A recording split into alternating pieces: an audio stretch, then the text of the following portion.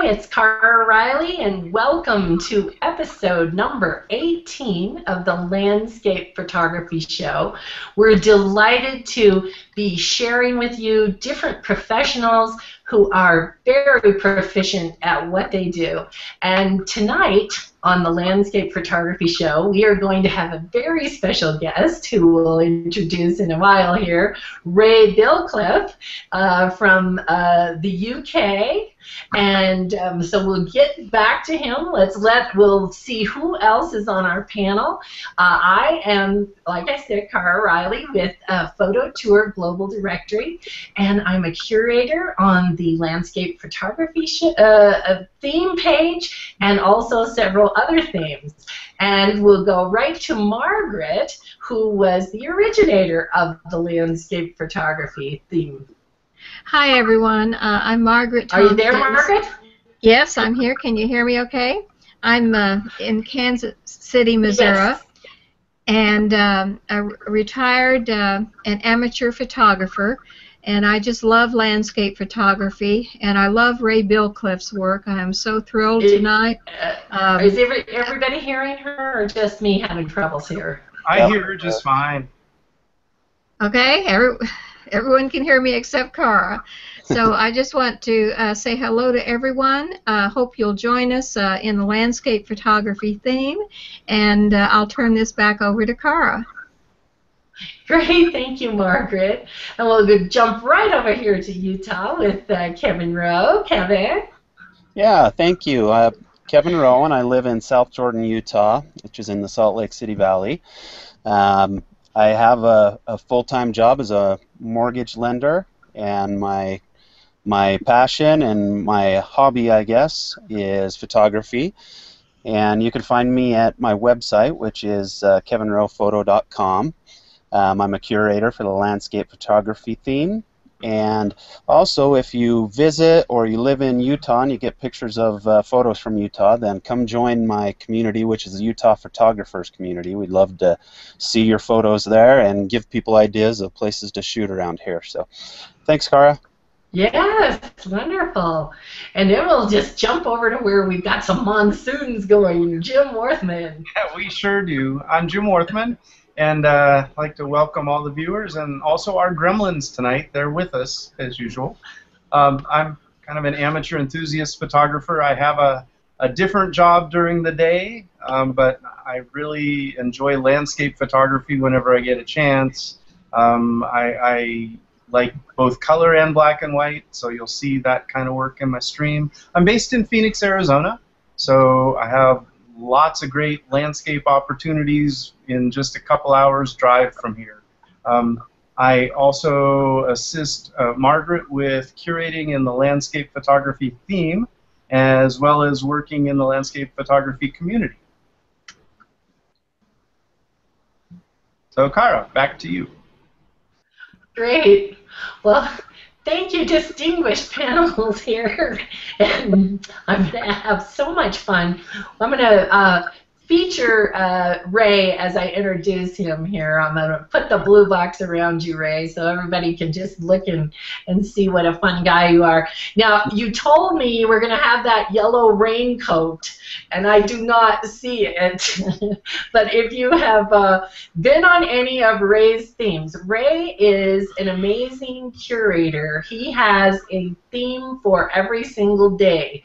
Um, and he started, well, I'm going to tell little bit and then he'll be able to tell you his story, as an underwater scuba diver in the year 2000 and has evolved into just an amazing photographer. He has uh, Dawn on Sunday, Lily Monday, Grass Tuesday, Waterbird Wednesday, Leaves on Thursday, Buggy Friday, Swampy Saturday, Paintography, The Magic of Light, and True Portraits. And uh, Ray is, uh, you're going to love his um, accent because uh, he's right on the northern border uh, of the UK, up there uh, close to Scotland. So, Ray, welcome to our show, and we're so excited to listen to you and what you think while you're shooting and composing a composition? Okay, can everybody see me? Yes. Okay, don't don't do anything with your screens, with your cameras. I am purple. That's to do with my overhead light because it's three o'clock in the morning here. If I turn the overhead lights off, you won't see me at all because it goes dark. Um, I'm thrilled to be here on the show. Um, I did a, a little test hangout a few days ago, so this will only my second time of doing this. So if things go wrong, I want you to blame Cara and not me. It's the group. Okay, I, I absolutely enjoy Google Plus and the uh, curating the themes. Um, and photography is my passion. I'm absolutely thrilled that there's so many people around the world who take an interest in my photography and join in with my themes. If you post a picture and I haven't got round to commenting on it, please forgive me because I try my best, um, but I don't get to see them all coming through uh, through my stream in the UK here. Actually, I get very few from the USA coming through on the UK. I know you guys get mine over there. Um, Across the pond. well, Ray, you know what I did? I forgot our show starter, and just before we start looking at your photos, we need to look at some and acknowledge the wonderful people who were came to the event. We have just started adding an event every time we have a show, and we're um, really encouraging people to come and participate. And uh, Kevin has up for us um, our show starters. And uh, so this is Philip Clark, who and we'll let. Yeah. Yeah, I chose I chose this photo. Um, we're kind of on the theme of the magic of light a little bit with Ray, and this is kind of uh, a good example of light uh, showing you what you want to see and kind of hiding the stuff that you don't, making a natural vignette. Yeah. And then uh, Cara, I think this is yours. Yes, and um, this is Tommy. I know he's listening. Um, he is from Singapore, and um, he Tommy Lim KW. Peace to you, and he's been on all of our uh, events. And the reason I really liked this one is the you can see right there. I, I you're not seeing my pointer, but there is a cargo ship in the background, and it's right there on the horizon. The light coming through, um, the clouds. It's just a, a real unique picture of the Singapore area. And Tommy, you did a great job with the light. Thank you. Margaret. Uh, this is one by our very own Cara Riley under the Photos by Cara. Uh, I was really drawn to this one with the rich um, stem color in the leaves and those water drops, and I think it shows sort of the uh, wonderful, minute things that you can find right out, you know, in your backyard. So you don't have to always go to grand vistas to create wonderful photographs. And Ray's going to have some wonderful examples of that tonight. But that was my pick. Ah, thank you, Margaret. Jim. Yes, thanks. Um, so this is uh, from Renee Kisselbach, and it uh, was taken um, near Sydney, Australia. Um, again, the, the magic of light being the theme, I was really taken with uh, with the light in the scene. But not only that, I love the composition with the strong foreground, and also the way the arrangement of rocks in the foreground in a way kind of mirrors the arrangement of the of the bright clouds in the sky. They they have they both have kind of an arc to them that sort of points over to the left side of the image. So anyway, I thought this was a, a great shot for tonight. All right, and then Ray. Yeah, I picked this picture because it's very much the kind of picture that I like to take. I wish I had taken this one. This is a beautiful picture. Um, Grass Tuesday is right there at the front, and you've got dawn on Sunday coming up over the hillside. and the magic of light is all over the entire picture. Magnificent shot. This one's by Tony Hayward. He took this on April the 30th, not so long back. And uh, Tony has captured everything about the landscape um, in this picture. Uh, magnificent shot. Well done, Tony. Uh, well, Thank you again to all of the people who have um, put their photos, shared their photos in the event. It really does make it fun, and we hope that you enjoy our show starters um, with acknowledging you and the time that you've taken to support the event. So now we're going to go back to Ray, and Ray is going to share with us uh, some of his compositions and the thoughts behind what he thinks before taking that shot. Sorry, Cora, I'm having a problem here. Oh, that's all right. We, we can walk you through it. You know, these gremlins, we, we got to name the gremlins now, but um, the screen share. Okay, there you go. You We've got your screen. Now we are seeing all of your photos. Okay, I've clicked on one picture. It shows a gentleman standing on the rocks, very bright over on the uh, on the horizon. He's got a baby on his back. Can you see well, that? We're seeing, we're seeing a whole. I, I, I don't know. Are you guys seeing it? I'm seeing a, like 12 or 14 pictures. Yeah, just the thumbnails. Okay. It's a, it, this this happens, and so to our viewers, uh, we all go through this. Even when you practice, it still happens. So let's try it again. There, uh, just click the screen share and and always when it's uh, when it's your first time, it just happens to every single person. okay, do you see it now? There yes, we go. Awesome. We see it. Beautiful. Okay. Okay, um, photographing the light. This picture is a prime example. Uh, I've got a gentleman here, he's introducing his baby to the dawn. This is uh, about an hour after the sun actually came up. Uh, very, very bright morning. No mist, uh, no clouds in the sky, no color, very bright white sun. Um, and I, I, I exposed this picture for the middle ground. That's uh, the, the rock sort of at the feet of where the gentleman is standing. And that way it gave me um, the light coming in from the sun on the top right down to the shades at the uh, front of the picture. And it allows for lots of detail. And I also uh, did a little bit of um, exposure compensation at plus one, uh, just to bring out the light. And I point out with when you're shooting the light that it's uh, important that you get some detail in your picture, but don't be worried about the whites, uh, what they call burnout. Um, that's not really that important and it can enhance the picture. There's a lot of white areas in this picture that has no detail, um, and that's excellent. Um, beautiful shot. Um, take the person away there with his baby, and it would just be another picture. The, the couple of the people in there really do uh, make it what it is. So if I click to another picture, can you guys tell me if you see it? Yes. Sure. You see the lighthouse in the distance and a couple of little people walking? We do. Yep. Yes. Perfect. yep. That works. Okay, glad you got it. Now we got this together. Um, my EXIF data shows me that this is a two and a half second F16 uh, shot almost in the middle of the day. The sun is way out the picture up in the horizon, probably noonday sun.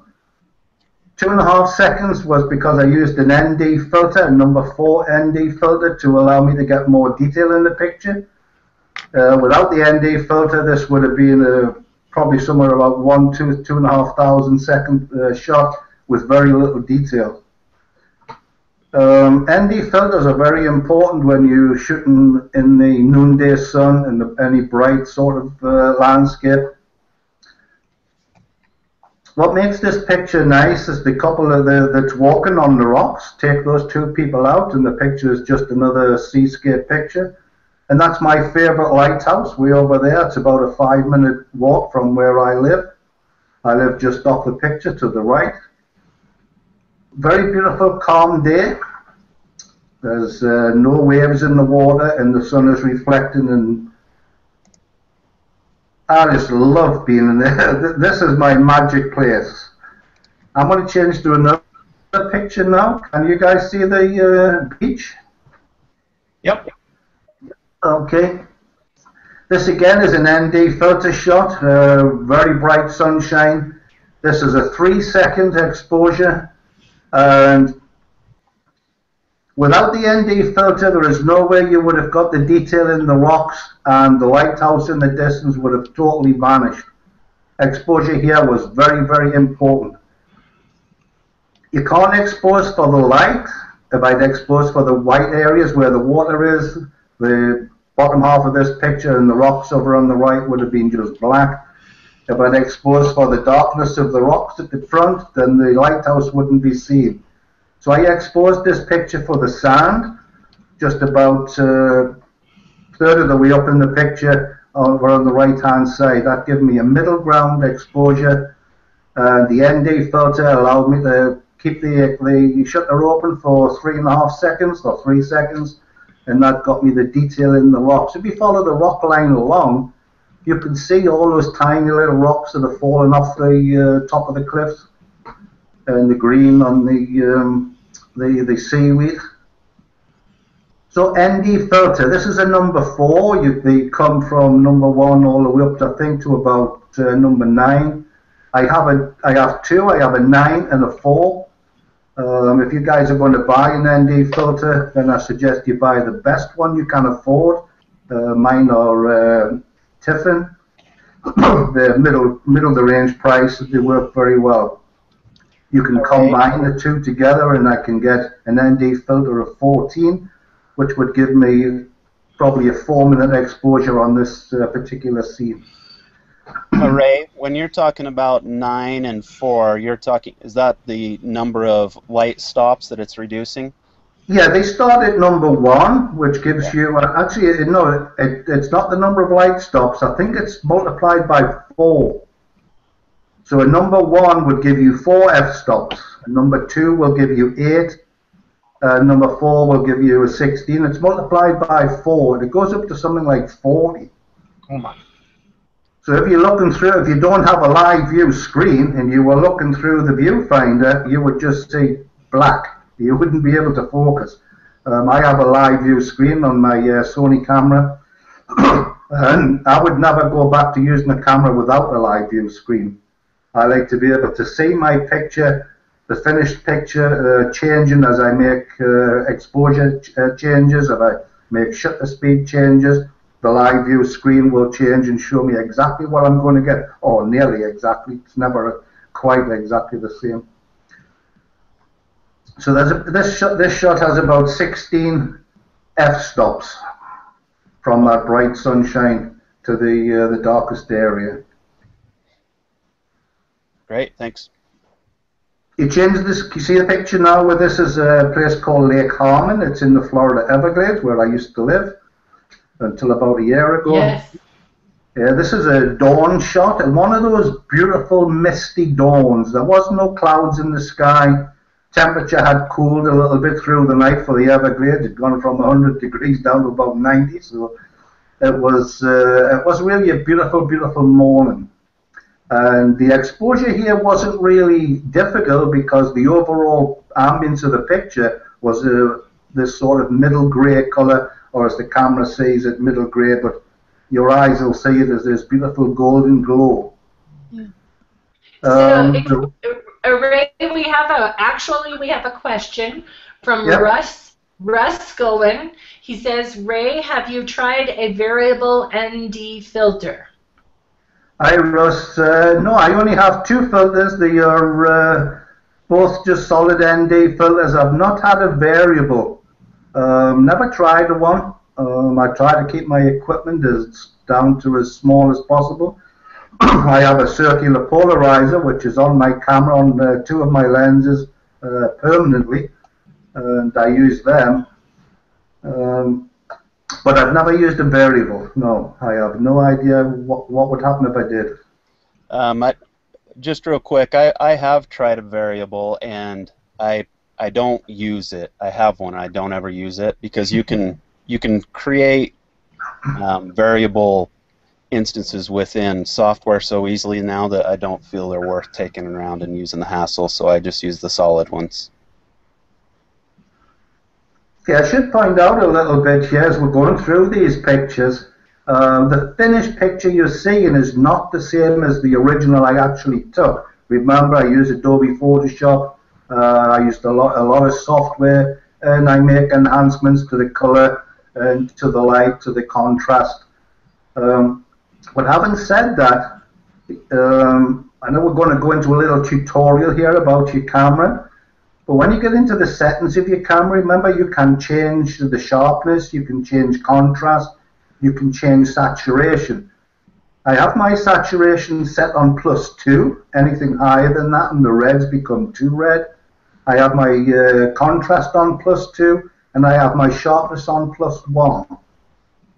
If I'm shooting a sunset or a sunrise, I will take the saturation and drop it down from plus 2 to plus 1.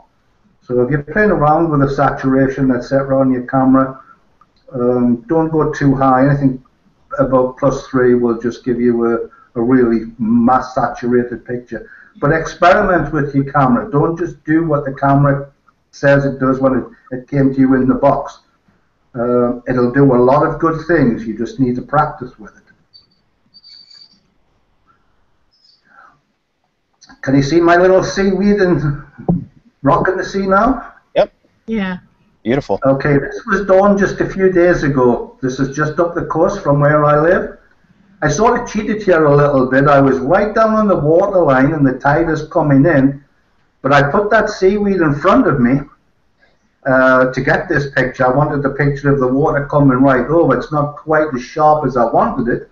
On the right hand side, the, the little foamy bits have lots of bubbles into it. Um, so I didn't get this quite as sharp as I'd like, but the the dawn was nice. The ambient light was pretty good. And you see that big rock that's in the water there sticking up? Uh, all of that area to about a football field, the other side, the far distance behind that rock, is all rocks when the tide goes out. This is almost a high tide. Um, I had to keep lifting my camera. It's uh, six inches off the ground here with the tripod legs sprayed out. And I had to keep lifting it up to uh, let the water pass underneath. You have to be very careful. You don't want the wave going over your camera because that's the end of your photography for the day. Yep. And probably for the rest of the month till you get it repaired. So are you down on your knees or on your tummy? I'm on my knees here, um, sort of one knee because I need to keep standing up, otherwise that water is going to go all over me. Um, I have uh, rubber boots on, um, so the my shoes and socks don't get soaking wet. When that wave passes under me, this one's not so bad that I photographed. It's actually stopping just there, but um, some of the ones before that and uh, after that one was were, were sweeping right underneath me, uh, probably to a depth of about six or seven inches. Um, but yes, I would not, I would lie down on a scene like this if I knew I wasn't going to get uh, soaking wet and risk my camera. I would be lying down. But my camera is wet. You know, I've got the legs sprayed right out, so the camera is probably about six inches uh, above the ground here. Hmm. And um, So do you use a remote then to um, actually take the picture also? yes, I'm using a remote shutter. Um, the shutter speed on this is about one quarter of a second uh, at f22 and ISO 100. And I'm using a remote shutter release. If I don't use my remote shutter, I have uh, have this set on to the uh, self-portrait mode, the little clock at two seconds, um, which which uh, will take a good picture, but you can't get the timing right. When he'll go d d d d d for two seconds, then takes the picture, and by then the wave has come and gone. So a remote shutter is very important, and always, always, always use a tripod. And I'll see a lot of photographers out there when I'm shooting, and they hand holding their pictures in the dawn, and I don't believe that they're getting good shots at all. You really do need a tripod. It's a pain, but tripod does a very good thing as well. It actually slows you down, lets you think about what you're doing. Hmm. You see my big I red rock this. now? Yeah. yeah, this was a picture I took uh, probably about six weeks ago, five or six weeks ago. Uh, as you see, it's a dawn shot. All my pictures are shot in the dawn or the sunset. I do very little through the day. Sun is uh, just about 30 minutes over the horizon, and it's lighting up this beach. Uh, magic. I don't know how many dawn shooters uh, we have out there that's watching the show, but this is the time of day when you will get some fantastic shots. But not all the dawns are the same. They're not all as beautiful as this. But I if you're not there for the bad ones, you're not going to see the good ones. Ray, I have it on good authority that uh, Kevin has never seen a sunrise. Well, it's not seen you, them. I don't like Kevin, you're not the only one. a lot of people have never seen a sunrise, but I see the same two photographers when I'm out here shooting the lighthouse and the dawn. They're there all the time. And then there's four or five will show up through the day. Uh, but there's only two more that actually get the dawn. But you can't get this picture any other time of the day. It's just not possible. Well, this So, isn't I've got I've got at least three that are willing to get up early on here. I'm first time I've ever been outnumbered on the early risers here. You know, getting, getting, if you can get up for a shot like this, uh, my sun's going to rise this morning at 6.30. A month or so ago, it came up at 4.30. Um, but even 6.30, if you go out and you shoot this for 30 minutes, so then it gets you to 7 o'clock. You've still got time to go home, have a breakfast, and get ready to go to work. And this will set you up for the day. When you know you've got a shot like this in the bag, it's going to make you happy the rest of the day. this is, uh, uh, I'm even impressed with, I'm, I look at this picture and think, wow, Ray, did you take that? This is magnificent. you know, I'm sure Trey Ratcliffe took this picture. But, Yeah, uh, I, I love the, the wet sand and how it reflects the light. And you see Yeah. just a bit of reflection on that lighthouse there in the wet sand. I mean, this, this is just incredible. Amazing. I know Margaret and I either shared I can't remember which one. We shared this on the theme page. I think we both did. Yeah, maybe. Whoops. Yeah, I put, I put, this. I put this picture onto the Plus Photo Extract to, to see if they'll put it in their magazine, and it got quite a number of nominations. So we'll we'll wait and see to see if uh, Jarek puts this in his uh, his magazine. There. Well, we have another question from Russ. Um, Yep, what ahead. would you recommend for a tripod and a tripod head? Aha, that's a good question, Russ. It's got to be what you can afford, but don't whatever you do, don't buy cheap. If you're buying a um, a tripod, if it's going to cost you under a hundred pounds, which uh, 150, 160 US dollars, it's going to be too cheap and it's not going to last you. You need a good solid. Uh, Manfrotto do a whole range of really good ones. Uh, my tri- tripod is a Manfrotto. Um, I believe it cost somewhere in the region of $400 uh, a couple of years ago. Before that, I had a fairly cheap one, which was a pain. Uh, the Manfrotto is absolutely fantastic.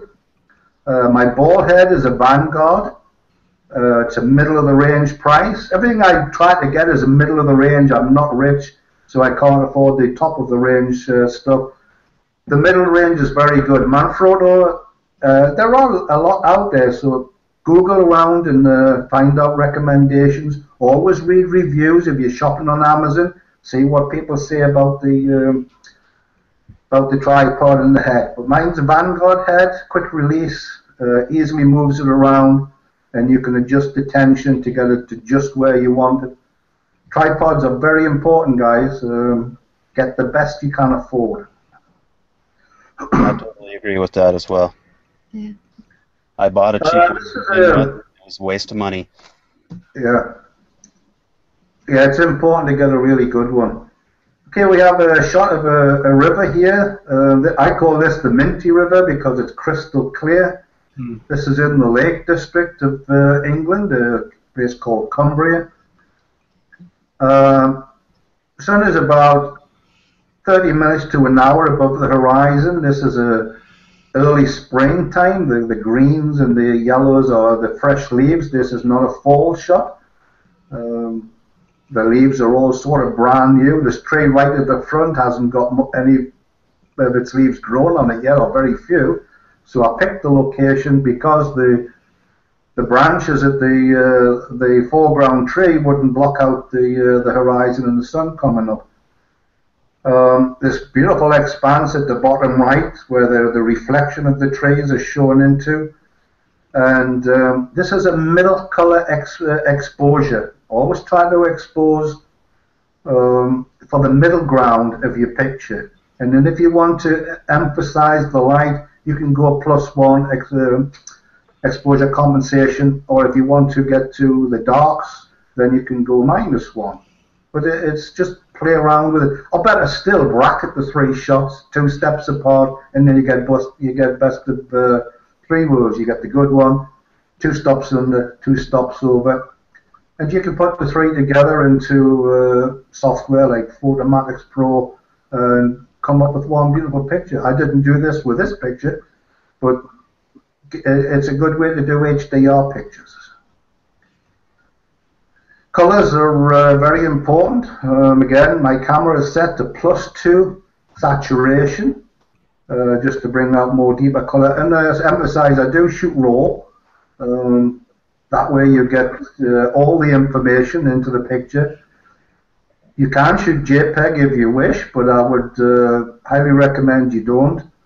Uh, set your camera to RAW and shoot everything RAW, and you will get much more detail in colors in your picture. You just got to learn a little bit on how to bring them out with uh, Adobe Camera Raw, etc. But the colors are there, and you just got to bring them out where you want them.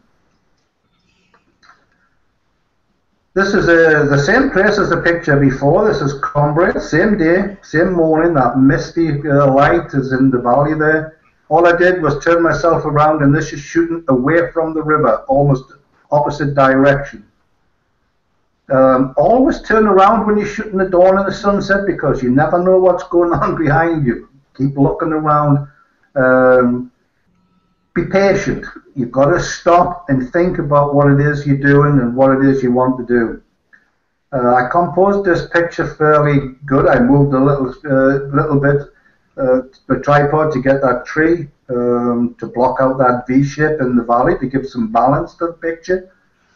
And we have all those beautiful colors of the sun just catching the tree trunk, and then you've got the darker shades. Um, I don't know what I can say. Uh, plus two saturation and be patient. Always think about what you're doing when you take a shot like this. What is it you're trying to get? Had I gone a little bit to this, this is a minus one, uh, an exposure compensation because I wanted that light in the valley, a little misty uh, band that goes through. I wanted that to stand up. And uh, this is not a one-off shot. The other way, guys, uh, you listen to this. I don't just click and then get this one picture. I probably took 20 pictures of that scene and changed some of the settings on the camera as well as I was doing them, just to try to get the big one. Move my tripod two feet to the left, two feet to the right, and to keep taking different shots. Don't just settle for one picture, because if you get home and it's not a good one, you'll be kicking yourself. Um, this is not quite on my doorstep. It's 150 miles from where I live, so I have to drive there um, and drive back again. It's not something I can do every day. Take lots and lots of shots. Fill up your cards. Have lots of memory cards. Um, I use a Sony, so I have Sony Pro Duo, and they are 32 gigs, and I can get a thousand at uh, RAW on each one of those cards. I think it's actually about 1,200. So, and I fill them. I take hundreds and hundreds of shots, and when I get to them, I will delete 90% of them. 95 will all be just gone. But who knows? One of them might be really, really good, and if you only took one and it's a bad one, you'll be sorry.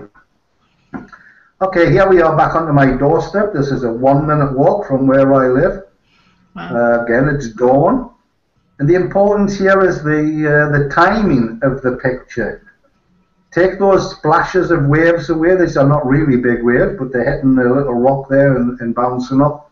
Take those splashes out, and this is just another picture. The splashes actually make it, so the timing was very, very important. Uh, rule of thirds, uh, always when you're doing landscape shots, uh, very important.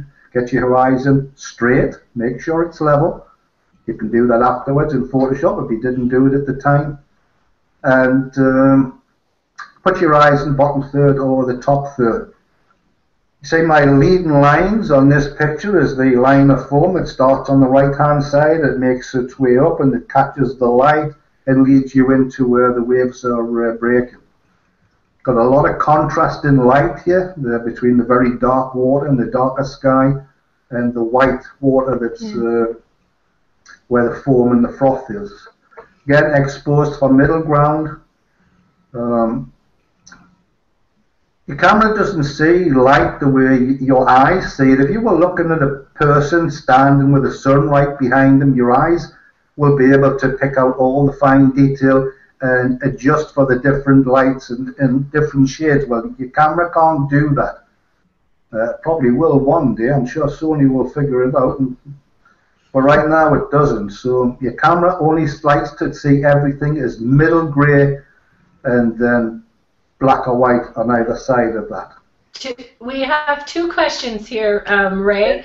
One from from Chris Whiting. Does the camera settings on saturation and such make it to the RAW file or only the JPEG preview? Uh, good question, Chris. I'm not sure. Um, I'm, I'm not real, I'm not a technical photographer, so I just know when I shoot raw the colors and the light that I want are there in the file. It's just up to me now to be able to play around with the camera raw and bring them out. This picture of the sea here, the contrasts here are almost beyond what the camera can pick. And I'm almost sure if this was a JPEG, it wouldn't look like it does now.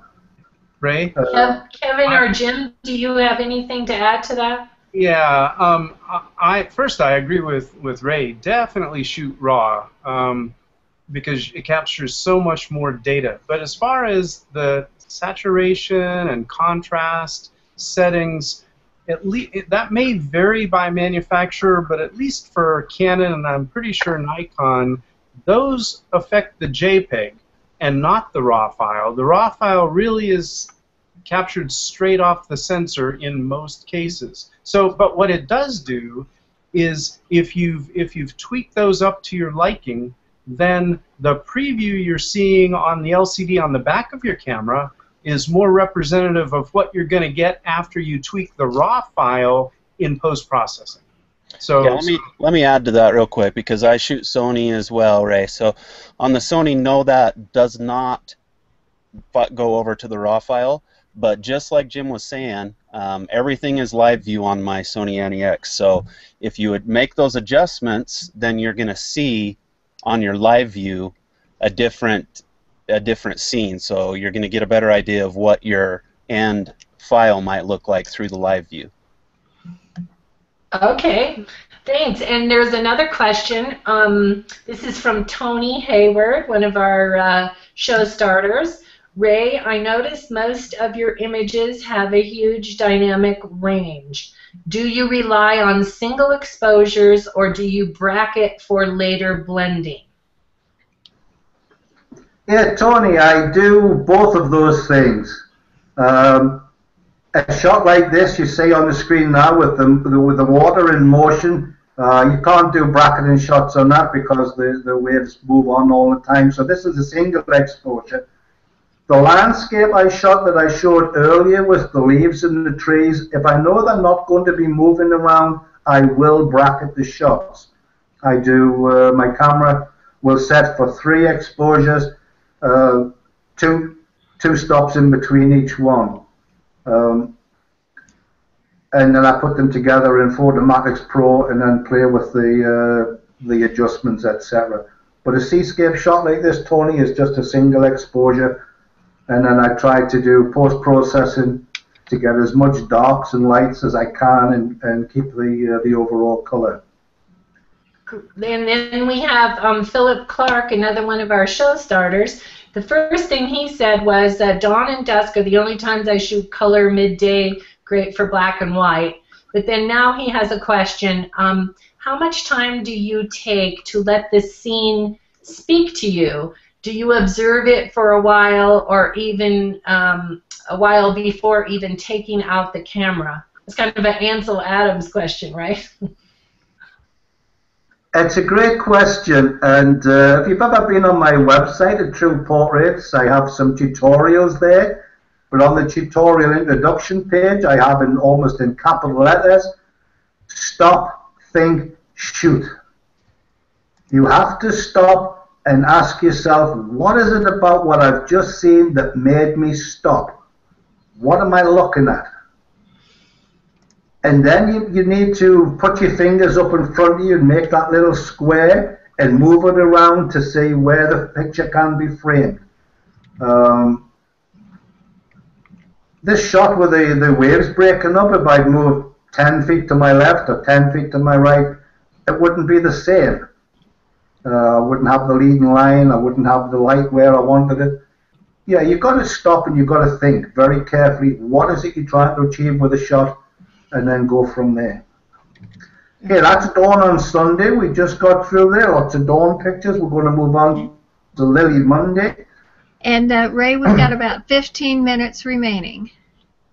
Okay, I'm going to go through fairly quickly. Then here we have a close-up shot of the lily. What makes the picture here very nice is that little bee that's sort of tangled in um, the stamens inside the lily there. Um, very narrow depth of field. Now shooting this at f2.8, so we'll blur out the background and put the emphasis right where I want it. Again, plus two saturation um, for the colors. This is a fairly important shot to, to look at. When a lot of people walk into a lily pond, they see the lily, beautiful reds and yellows and white lily flowers. Some people will see the lily pads, which are green. Some people will even see the dragonfly sitting on the leaf, very few. But only about one person out of every hundred that walks in will see the dragonfly shadow.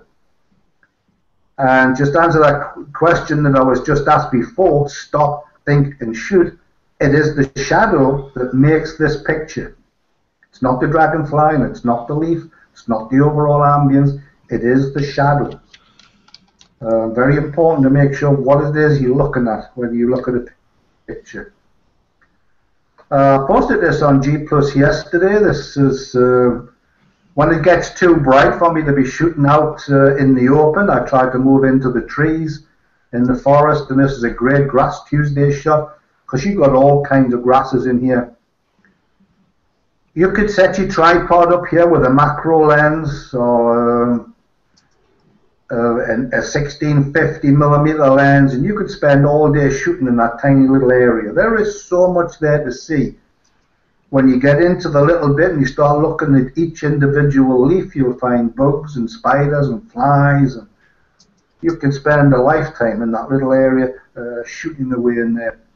Colors coming down as the, the light coming down through the trees catches those little spots yeah. and lights up the, the ground and that's the emphasis in the picture is catching the light.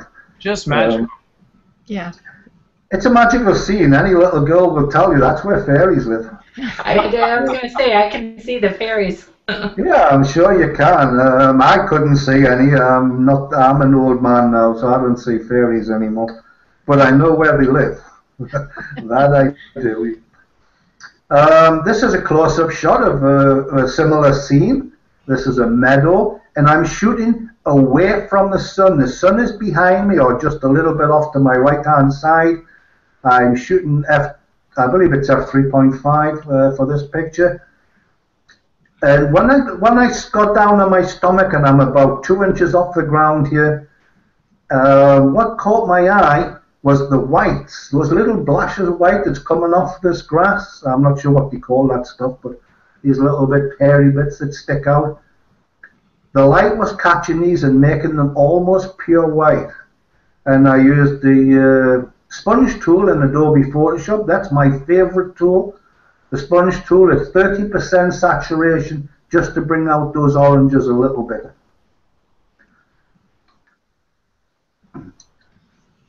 Uh, moving back away from the sea a little bit, uh, this was the shot the other day when I got the same red rock. We had that beautiful golden glow and this is moving up onto the uh, cliff top about 30 feet above the beach and shooting straight out over the ocean. Those little flowers on the right hand side, they're clover, they're sort of a goldy orange colour, and the light at the, the grass just the other side is that beautiful golden glow coming from the dawn. Um, great grass Tuesday shot, it's got everything into it, it's got saturation, it's got light, it's got shapes, it's got darks and lights. Uh, I love shooting the grass, I really do. I had a gentleman the other day with a, uh, he carries his cell phone around in his hand, he never ever puts it down. I asked him, he was always bragging about how it's an 8 megapixel camera and he doesn't take a lot of pictures because he can't find anything to photograph. That's what he told me. Uh, there's always something out there to shoot. I shoot, if it's raining, I will shoot raindrops. Down in the grass again, um, everybody knows what dandelions are. You blow them and they blow away and you make wishes and uh, very difficult thing to photograph. These things are so delicate and fragile. If you breathe too much, they will disappear on you. Uh, focus is very, very important here, and I focused on the one that's just fallen to pieces, just off center. As the what caught my eye was the little orange bits of the seed pod on the end of the little, I don't know what you call those things. Uh, anyway, it's the little orangey seed pod bits there that look really nice. Gorgeous Grass Tuesday shot. I, I love shooting the grass. Water Bird Wednesday. How close can you get to your bird?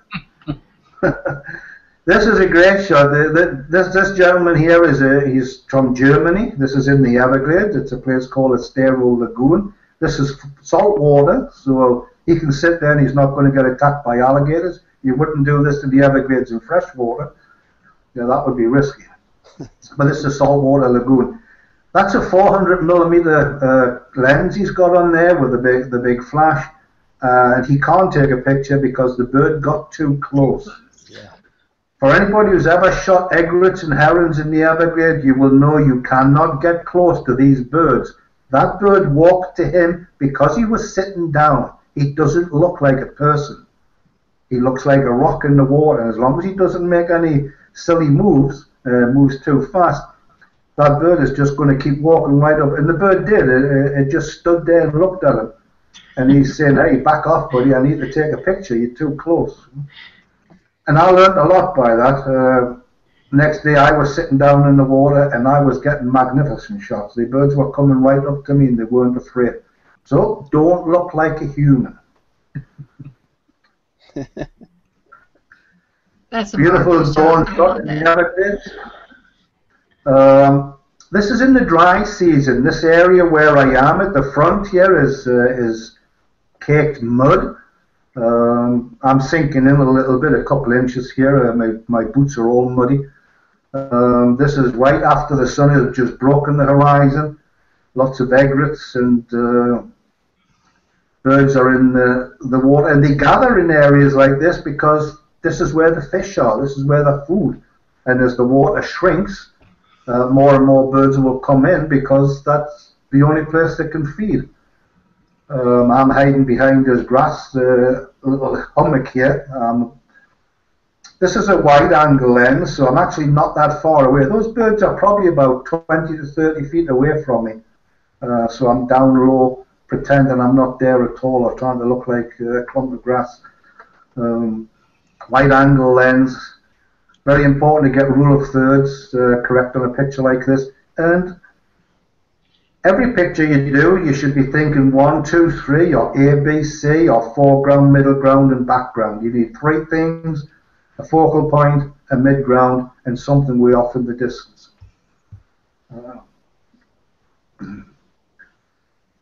An opposite picture to the last one. This is a little blue egret. It's uh, not uh, not normally this color. This is an immature blue egret.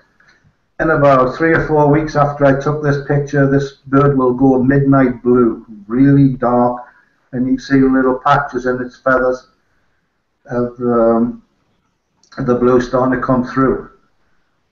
Uh, this bird is sitting on a fence post or on a rail, probably about 15 feet, 20 feet away from me. I'm shooting this with a 300 millimeter. uh, paying a lot of focus attention. The I'm shooting at, four, at f4, so I can blur the background away, but try to get the details in the feathers. There's a lot of shades and lights of white in this, so exposure is very, very important. And I recommend you take multiple shots. Uh, you can't bracket these shots because the bird is going to be moving around too much. Yeah. But you can change the exposure yourself and take multiple shots. And when you get home, pick out the, the best one. This Patience, shot is gorgeous. Absolutely yeah, gorgeous. You have to be so patient with a shot like this because the bird doesn't do that, lift its wing up and pause and say, hey, look at me with my wing up, take me picture. I'll stay here till you get it all right. You've just got to be there. you've got to be ready. Um, and you've got to pay attention. And you've got, you've got to be patient. I think I stood and watched this bird for about two hours before it lifted its wing up. Uh, took maybe three, four, five hundred shots, and they're all the bird just sitting there, and all boring. And then all of a sudden, whoops! Up comes his wing, up goes his head, click, and I got a shot that I take home. And I don't care if the rest of the shots I took all day are rubbish. I got one good one, and that's what's uh, important. Patience, guys. one, one last question here from Russ uh, Ray, um, and this is an excellent question. Ray, what is your favorite lens to use? Ah, Russ, that's, uh, you know, you'll hear pro photographers tell you because they want to be smart, the best lens is the one you've got with you. Uh, and, you know, to a fact, that's true. Um, when I'm when I go out in the dawn, if I'm not going out to specifically shoot, I have an 18, a Sigma 18 250. It's a lightweight lens. It's not the best lens on the planet, but it does a good job. And then I can do 18 uh, millimeters for wide angle, and I can narrow down to 250 uh, and, and pull some of the distance in. It's an easy to carry around lens if you don't want to be hunting or everything around with you, and I use that quite often. But my favorite is my 1650 f2.8. So, uh, it's a Sony lens, very expensive, uh, and that is my favorite lens. Uh, my other favorite lens, because I have lots of favorite lenses, my other favorite lens is my uh, my Sigma 1020. Uh, all my landscape shots are taken with that lens, and I like that because it allows me to focus up to 10 inches away from me and still get the whole mountains in the background and everything in the picture. Um, that, is a, that is an amazing deal for that lens as well. That's one of the, I think, one of the best landscape lenses out there for the price. Yeah, the 1020 is a magic lens. It really is. Uh, it, it, it doesn't distort too much on the edges. You know, you can straighten that stuff out in Photoshop afterwards. Okay, this is a great white egret, probably the most beautiful of birds. When the sun catches this bird with its wing out, you have got a picture to be proud of. This is this is whiter than white. This is the most magnificent bird. It stands about four feet high, has a six foot wingspan when it spreads about. And I stood here for about three hours telling this bird, put your wings out, put your wings out. and, and when it did, its beak was turned up and it plucked at the feathers, and I caught it just at the last moment before it decided to fold itself back up and become another egret and I got its head coming down. And a split second after I took this picture, its wing came down as well. And that was the only time it did it in that three hours that I was standing there waiting. But man, did the patience paid off. I mean, look at this. This is a beautiful picture. If anybody took this, I would say, wow. Yeah. It didn't have because it's just my picture. That's I'm gorgeous, right? I'm pleased I had the patience to wait for that and we have about five minutes remaining. Okay. This is a the same bird. The one and the white one and the blue one. These are both little blue herons. The immature is the white one. You can see the patches of blue, and the mature bird is the, the dark blue one there. Uh, this is a great Grass Tuesday shot as well. It also goes in for the themes about reflections, uh, Water Bird Wednesday theme uh, the, the reflections of the reeds in the water. Everglades have magnificent reeds. We call it sawgrass, and it it's all kinds of colours. It goes from green to bright red. uh, as the seasons pass through the year. This is a beautiful shot of a red egret. This took weeks. This, this bird was visited this spot and I went day after day after day hoping to get a shot just like this. I must have took 5,000 pictures of this bird. Uh, you know, have you ever seen a red egret when it's fishing, when it's, uh, it's hunting for food? It's not like the herons and the other egrets that stand still and, have, and wait for the fish to come by. This thing dances around and creates havoc. Uh, there's a magnificent bird to be watching. This is a this is a shot in a lifetime. A beautiful dawn golden light. The egret's got its uh, wings stuck out. Its head came underneath. The the focus is right. I will never be able to repeat this shot. I don't think I will ever be able to do this. It's, it's a once in a lifetime shot. But you've got to be there. If you're not there, you're not going to see it. Okay, leaves on Thursday. I'm going to nip through these to get through in the last couple of minutes. the light shining down through the trees will light up little areas on the ground, and that's where you need to be focusing your shot. These are blackberry leaves. Everything around here is in almost darkness, and the light is catching. And beautiful shot. Shooting into the, the, rising sun. These are potato leaves, and I love this because of the texture in those heart shapes. Um, but what actually makes this picture really nice is the is the bokeh in the background, as the leaves, the sun is coming through the rest of the leaves back there. It creates a beautiful overall image. That's gorgeous. Another thing you can do when shooting leaves is uh, wait until you get a, a, a, a landscape shot out of the leaf. I had to wait for a long time for somebody to walk over that bridge, and I was lucky that these two old people, arm in arm, eventually walked over the bridge, and they make the shot. It takes the people out, it's just another bridge and another leaf. Those two little people up there really made that shot. Buggy Friday. Shooting in the dawn is the best time for bugs. Sometimes you will catch them with dewdrops. This one, this fly hasn't.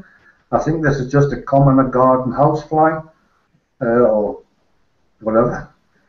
Uh, shooting almost directly into the sun. This is my 100 millimeter macro. It's a prime lens, uh, which means if I want to zoom in, I have to physically move the camera and tripod closer or back off. I'm probably about 18 inches away from this fly. Um, uh, F, uh, EXIF data shows me that 5.6. Uh, f2.8 with this 100 millimeter uh, lens, the depth of field is less than a 16th of an inch. Hmm. So at f2.8, the leg at the front would be in focus, but the leg on the far side wouldn't. Yeah. It would be blurry. And as you see at f5.6, that leg in the middle of the fly at the back is out of focus. So you're looking at less than an eighth of an inch, the depth of the fly. Uh, very critical on depth of field. F22, yeah, you can, but then you, you, you shutter speeds go down and your, your ISO has to go up and the noise creeps in. And, so it's a balance in getting what's right. Trial and, trial and error. Uh, Love of grasshoppers. This is uh, another great Buggy Friday shot. This creature is about four inches long, so it's not a tiny shot. And I waited patiently to see if he would spot me, and when he did, uh, he's looking at me as if to say, "Well, stay there much longer, and I'm going to jump on you." uh, but he didn't. They just crawled around on the branches. Um, the light here is uh, is great. It, it's uh, sometime after the dawn, and the light is reflected in the background. That's water that it's actually bouncing off, and that gives me that beautiful background bokeh. F5.6, as most of my buggy shots are, it gives the, the blurred effect in the background. Okay, Grass Tuesday, Dawn on Sunday, Buggy Friday. Um, all the themes are in this shot. Beautiful grass. This is an ornamental grass which is grown wild uh, down beside my lighthouse here. Just one little area. And I actually put that snail on there, guys. I have to tell you, I picked him up and I put him on there. He was about three inches away. Um, you know, if you wait for a snail to crawl three inches, you're going to be there for a week. but anyway, I picked him up and I put him on there, and uh, of course he went back into his shell, and I had to sit for about 20 minutes uh, before he came out. Um, F4 got that beautiful blurred background that is just more grass standing up in the background and shooting almost into the dawn sun. Beautiful shot. But yeah, you can move things around. I mean, some photographers say in nature you shouldn't do that. If you're, if you're not doing any damage, that's fine. Look at for the little things in the grass when the sun gets too bright. Come in closer. This is a three inch square on the grass. These are tiny little flowers. The little damselfly there is about three quarters of an inch long. And I'm focused in tight. Um, there's a whole world going on down there. Do you know that 80% of spiders in the Everglades are too small to see with the naked eye? Hmm. And there's over 10,000 per square meter. Think about when you're crawling in the grass. They must be all over you. A uh, little fly on the grass. Uh, you guys seen this little brown fly? See him. Mm, okay. Um, this is I am I am down as low as my camera can get. My camera is pushed down on the ground, and I'm trying to shoot this fly pointing upwards into the sun. There's grass all around my camera, and I had to move it a couple of inches each way to, to get some of the blurred grass out of the way. And this is shooting upwards on a fly which is on a blade of grass about three inches above the ground. Uh, very difficult to get focus up there even with the live view screen, but I managed to on this. Um, goes well with the magic of light because what's making that picture is not the bug, it's the light coming through the grass. Uh, the overall ambience of the light is what makes the picture. The fly is just happens to be there. Uh, Swampy Saturday, Dawn on Sunday, uh, Tree Tuesday, all in this picture. This is the dawn light that you don't often see. This is in the Florida Everglades. I'm wading through the water here to get to this spot. This is a magnificent old cypress tree. Uh, and the bark is sort of falling off it at this time of the year and you've got the moss, uh, sphagnum moss hanging down. Yeah. Typical swampy scene, um, and the dawn light coming through the through the trees. But if you're not there at the dawn, guys, and it, uh, you won't get a picture like that.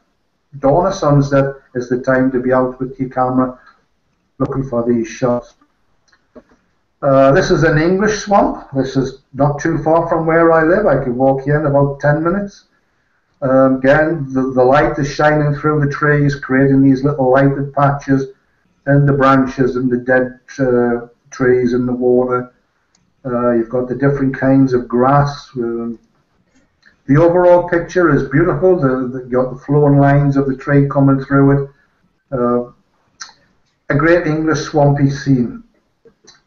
And my paintography theme. This is what I do all the time. Uh, there's paintography in every picture you've just seen. Sometimes it's very subtle, and sometimes it's a little bit more uh, in this picture of the flower. I love paintography. I like to play around with my pictures. Uh, I'm artistic. And I think, why do I take good pictures? It's because I'm an artist. Not that I'm an artist with a camera. I'm not a great photographer. I'm an artist in this, the, the landscapes and things that I see. Um, I've never really tried painting, but if I did paint, I would probably be good. I was good at drawing at school. I'm glad that you're sticking with photography. These are just marvelous, right? Yeah, this is uh, CS6. They have this uh, paintography uh, theme that comes in the filter menu uh, called oil paint. Uh, and it could put lots of these swirls around, or you can make those swirls go away to where this is very, very delicately painted. Some pictures go with great swirls. This one does because this, the shell is a swirl. So the swirls in the background go well with this picture. This is a snail, um, like the one that I picked up and put on the grass. This one is on the sand, and he's got little bits of sand all over him. Uh, different kind of paintography. I went uh, the texture menu in uh, Photoshop and got the canvas sandstone effect and did multiple. So I tried to bring the leaves of these trees to look like 3D. That's what I was trying to get with this picture. Gorgeous reflection. Yeah. Um, this was in the, the Lake District when I was there a little while. Paintography does uh, does wonders uh, on the oil paint or pixel bender on feathers and fur. This is not too far from where I live. This is a captured stag that was injured and it was brought here and it, it can't run very well and it goes around in the field and hundreds of people turn up to take its picture so I'm just one of many people who are there. Um, and again, magic of light is right here. The sun is bouncing off the water in the background and uh, I exposed for the darker area of the uh, the deer here so I would get all its fur standing out. Um, yeah, not a bad picture. My true portraits. This is a friend of mine. It's uh, uh, her name's Chelsea, and she posed for me quite a lot when I was starting off in photography. Chelsea is a scuba diving instructor, and she was part of the team that worked on the same dive boat as I did. Uh, beautiful girl. Um, and paintography works quite well on portraits like this, provided that you use it sparingly. It can really blur. But what I should do is make a duplicate image and then take the paintography off the eyes. Eye should never be uh, twisted in. This was my other friend that worked on a dive boat. Imagine here I am as a captain of a dive boat. I have two crew working for me and they're both beautiful girls. I'm out there on a tropical island on the tropical Caribbean Sea, and I have two beautiful girls working with me all the time. You're a lucky man.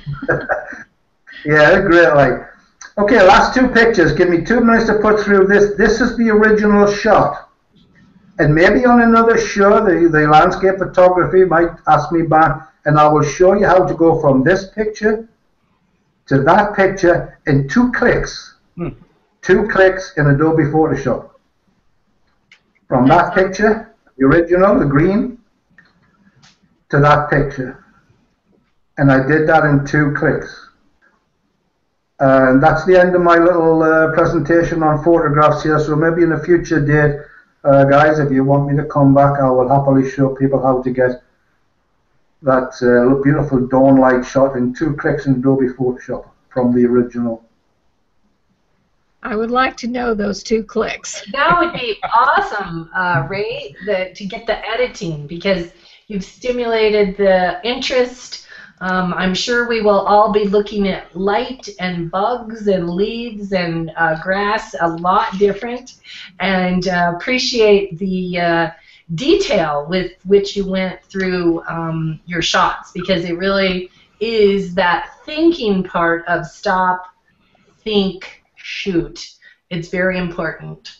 T uh, S T S. Stop, think, shoot. Okay, you heard it here first on the Landscape Photography Show. So uh, we're coming to that um, period in our show where we share photographers that um, we believe you should watch and follow. So I'm going to turn it over to Mr. Jim Worthman. And uh, let's see if I can. What was my blue box isn't working here. Uh, you're stuck with me. Let me see if I could go back to. I'm stuck on. Uh, oh gosh. Well, those gremlins, you know, they just come and go.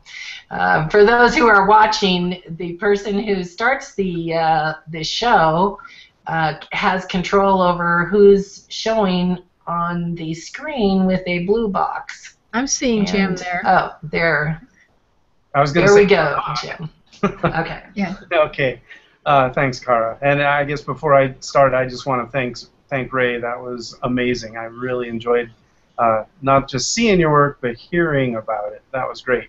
So let me share the screen. Um, my recommended photographer is Ryan Engstrom and he's a graphic designer and landscape photographer. He's based in Minnesota, um, and if you look at his stream, he has a wide variety of landscapes and uh, uh, from a variety of locations. You know, he has seascapes, uh, deserts, mountains, Um, he does both color and black and white. There are some wildlife shots. Um, and he's been selected multiple times in the landscape photography community for the landscape photo of the day. So um, definitely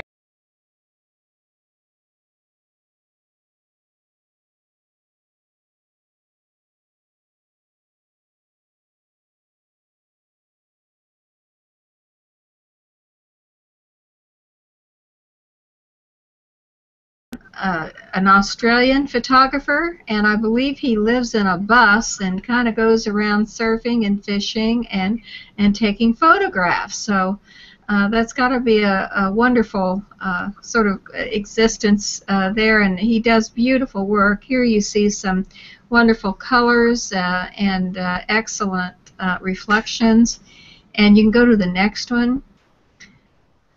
Uh, just lovely work. Uh, I, I, love the soft waterfalls uh, that he produces. And this guy only has like 600 followers, so uh, if he's one that you don't know, and, and its probability is that you may not know him, I urge you to uh, circle him up and enjoy his fabulous photography. Wonderful Australian photographer. Thanks, Margaret. Okay, Kevin. Yeah, so this is Camille Donnelly, and uh, he is a very good photographer. Um, he's someone that I've I've always watched out for for a while since uh, every time I see a post from him, I know it's probably going to be a fairly good picture. So uh, go ahead and show the next one, um, just to give you an idea of the type of stuff he does. Um, he does a lot of seascapes and um, some long exposure stuff. And I'd encourage you to uh, circle him if you want to see some more of his great stuff. Okay, thank you. And Cara.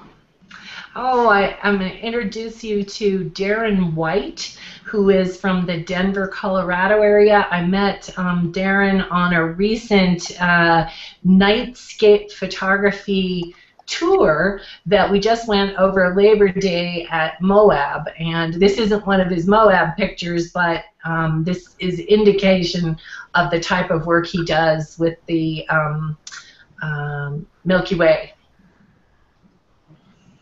I think there's one more. Yes, and this is up at the Rocky Mountain National Park, one of Margaret's favorite places. Um, but again, he's got the light there from the, on the clouds and the movement in the water. And uh, this is Darren White from DarrenWhitePhotography.com in Denver, Colorado. Right, and uh, Ray, you're up. Hey, yes, this is a photograph by Chris Mackay. Um, I have never met Chris in person, but I introduced to his work a few weeks ago. They started to show up in my Magic of Light theme. And the reason I like them is they are reminiscent of the pictures that I like to take. I'm not sure if this is a dawn or a sunset, um, but it's very much a picture I like to take. And I added this one into Grass Tuesday as well because you have the grass in there given the foreground, the middle ground, and then the trees on the uh, horizon way back there in the distance. Beautiful. The next one. And again, similar shot. And what's magic about this one is that beautiful wispy cloud that he's got uh, showed so yeah. prominently in there. Again, I think I'm going to give him the, the, the benefit of the doubt and say he got up early in the morning. This is a dawn shot. Um, some people sneak sunsets into my dawn on Sunday, and well, I don't mind. You know, whether the sun's going up or going down. It doesn't really matter.